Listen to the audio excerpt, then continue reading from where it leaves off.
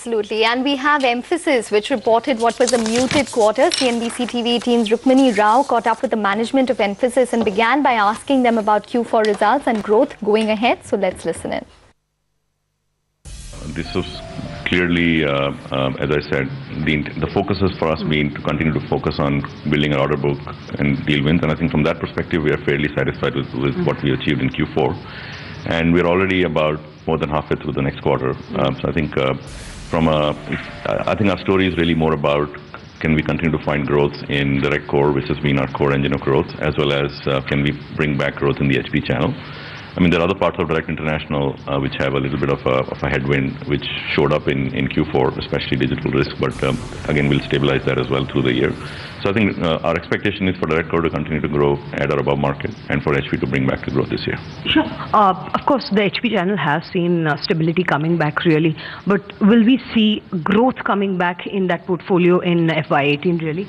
So I think FY17 was all about stabilization and FY18 is all about growth. So um, I think you, you, can expect growth, um, you know, in, in FY18 in the HP channel and uh, still early days for the year. So I think as we go through the next couple of quarters and looking at the, the conversion of the of the pipeline that we have in the order book, we, we should uh, be in, in, a good position. Sure. Is, uh, is initial talks that you're having with HP clients really uh, giving you that sense? Yes, uh, actually we are we feel much better today than we did uh, last quarter or the quarter before, and I think there are there are two or three things that are driving that. Firstly.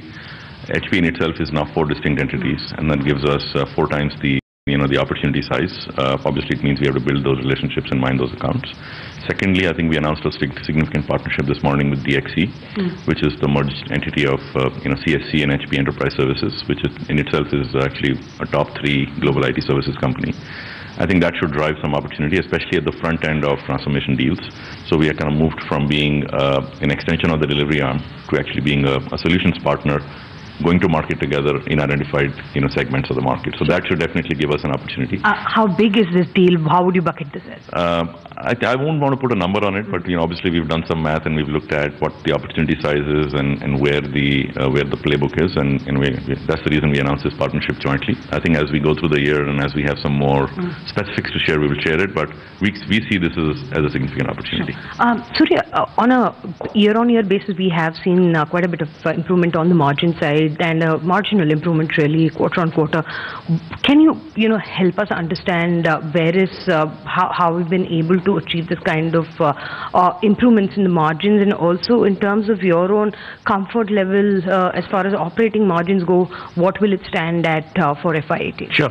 We have been, I think, a couple of initiatives we drove. One was, of course, restructuring our portfolio, which helped us drive up the margins. And the second part of it, we're continuing to drive operational efficiencies in the system. And uh, as mentioned earlier, we will continue to be in the region of 14 to 16 percent mm. for FY18 as of now. Sure. I mean, there's a lot of talk in the industry as far as uh, human resource rationalization is concerned. I mean, across peers, really.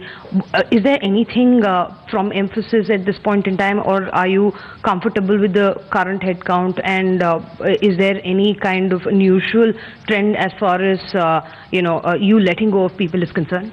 No, nothing of that kind, and we are quite comfortable with the current headcount. Mm. Uh, we continue to drive reskilling, etc., mm. so that we can ensure that our current workforce is uh, made uh, shift to the new projects, uh, the type of projects which we get. Okay, well, that's uh, the management of Mphasis, but let's get in some technical calls for the market now. Sandeep Bagle